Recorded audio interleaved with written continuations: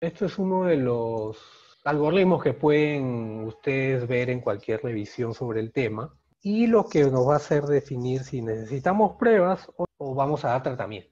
Este algoritmo dice, ¿no? comienza obviamente, si tengo clínica de infección respiratoria aguda, ojo, miren los grupos de factores de riesgo. No es que de frente pasa acento. Si una comunidad o lugar donde estoy tiene un brote de faringoamigdalitis por estreptococo grupo A, no voy a pensar que es influenza, ¿no? Tengo que pensar con mucha más probabilidad que tiene una infección por lo mismo. Ojo, también nuevamente, un paciente que tiene inmunosupresión, ¿no? Sea por la causa que fuera, ¿no? La clásica es por antitiroideos, ¿no? ¿Cuál es la primera pregunta que tienen que hacer a un paciente que tiene antitiroideos o usa antitiroideos y tiene fiebre? Una sola pregunta a un paciente que tiene fiebre y usa tiamazol o antitiroideos.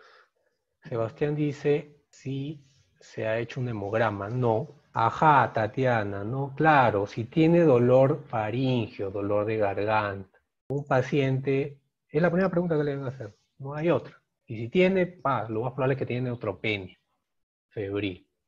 No van a esperar a pedir una prueba de test diagnóstico, no. riesgo-beneficio, tratamiento.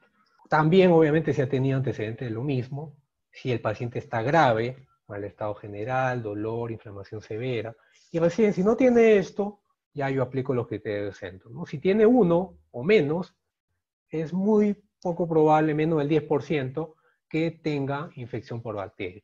Entonces, si tiene dos, solo en ese caso se pide prueba de test diagnóstico. La prueba sale positiva, hay tratamiento. Si sale negativa, como ya lo sacamos con el nomograma de Fagan, es muy improbable que tenga infección bacteriana y le doy tratamiento sintomático. Si tiene tres o más, ojo, este algoritmo dice que hay que hacerle la prueba, pero si no, pueden tener la disponibilidad de eso, esperan el resultado, pero si no, dan el tratamiento, porque es probable que tenga la, infección bacteriana. Entonces, todo está escrito. Y todo tiene su lógica y su análisis de acuerdo al análisis de este diagnóstico.